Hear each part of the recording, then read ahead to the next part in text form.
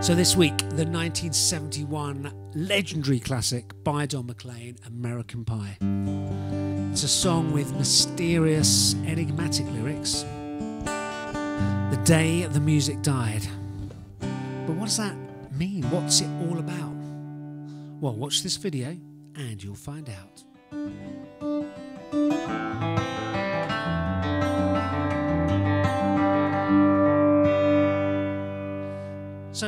Why did I decide on doing this song? Well, it's a song that, like many other good things, was introduced to me by my dad when I was a teenager.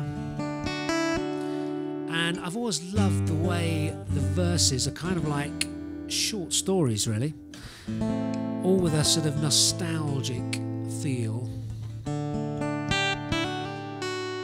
But with a lovely rhythm as well. When, it, when you come to sing them and learn them, there's a nice rhythmic feel to the lyrics, which uh, I really enjoy.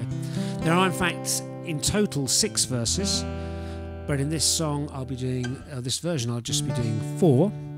If you'd like to hear me do all six, then you'll just have to come along and see me play it live.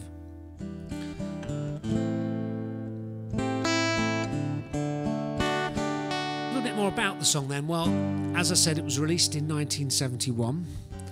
It became a huge hit for Don McLean, and some 29 years later for Madonna, who covered it. And on the key question then, what's it all about? Well, Don has been rather quiet.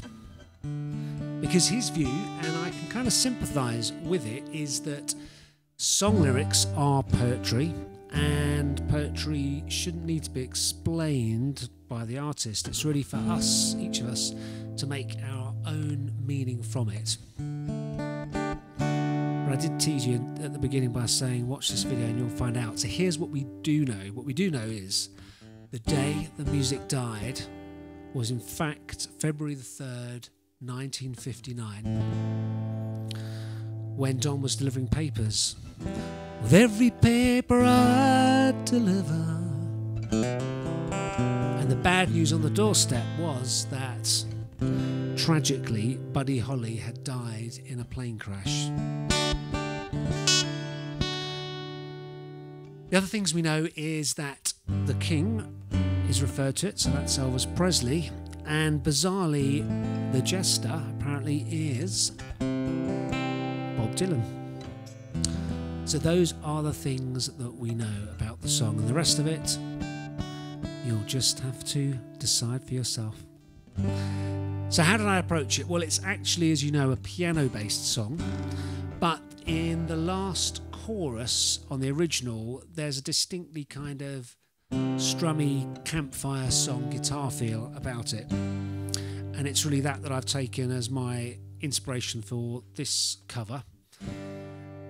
What I've done really is kept it very simple. There's a tiny bit of looping at the end just to create uh, a variation on the chorus. So you're going to have to watch to the end of the video now to find out what that is.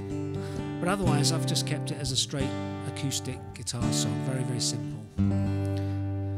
Enough said now. Time for you to maybe light a campfire yourself put some food on the barbecue, get a drink in your hand, and have yourself a nice little piece of American pie.